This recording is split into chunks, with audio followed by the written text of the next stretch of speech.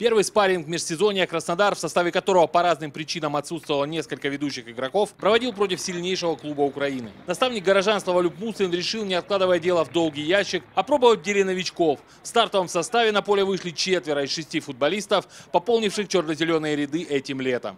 Тем не менее, начали игру краснодарцы без тени робости. Именно они в дебюте больше владели мячом, причем делали это по большей части на половине шахтера. Впрочем, горняки, обладающие грозной группой атаки, сформированной исключительно из бразильцев, продемонстрировали свой класс уже в первой же серьезной наступательной акции. Луиш Адриана, получив мяч штрафной Краснодара, на замахе убрал оппонента и буквально вложил мяч в ногу Дугласу Кости, который с близкого расстояния расстрелял створ. Этот быстрый гол соперников ничуть не сбил атакующего порыва быков.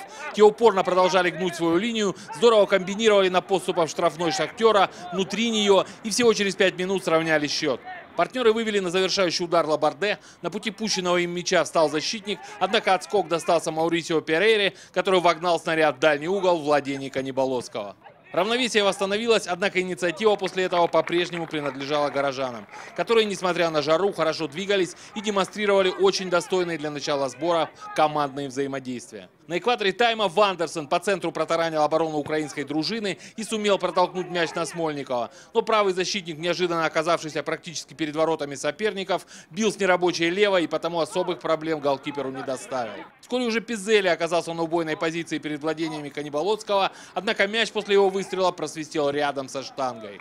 Горняки же снова выжили максимум из минимума. Краснодарские оборонцы не уследили за Луишем Адриану, который мастерски поставил ногу под удар Кобина. И Шахтер снова вышел вперед. Пару минут спустя быки были очень близки к тому, чтобы отыграться. Во время очередной их атаки у игроков Воражева черном закружились головы, и один из них рукой прервал полет мяча в пределах собственной штрафной. Однако сербский рейфери Астоич почему-то предпочел не отреагировать на это нарушение правил. А вот Фильцов на 38-й минуте среагировал. Только не на фол, а на мяч, который с нескольких метров направлял створ мастеровитый центр-форвард горняков Луиш Адриано. Сейв краснодарского голкипера бесспорно стал одним из самых ярких моментов весьма содержательного первого тайма этой игры.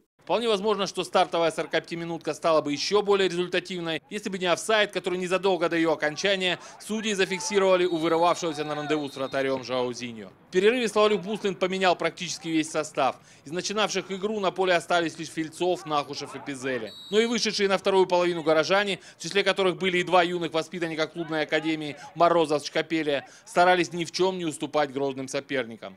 Да что там старались, не уступали. В самом начале тайма Алекс Тейшейра проверил бдительность Фельцова плотным ударом, после чего на долгое время угрозы воротам Краснодара по сути прекратились. Главным образом благодаря надежной игре горожан в обороне. А вот противоположный штрафной пожар периодически вспыхивал. На 57-й минуте Шипицын замыкал прострел здорово обыгравшего опекуна Чкапелия, но лишь чиркнул по мячу и тот в цель не проследовал. Через минуту Канате коварно выстрелил из-под защитника, немного промахнулся. А на 61-й минуте точности не хватило уже удару Исаэла, когда тот метров с 12 метил в дальний угол. Пару раз вступить в игру вратарю с Донбасса Каниболоцкому все же пришлось. На 79-й минуте он намертво забрал мяч после удара с острого угла в исполнении Канате, а еще через 9 минут справился с выстрелом Пизели.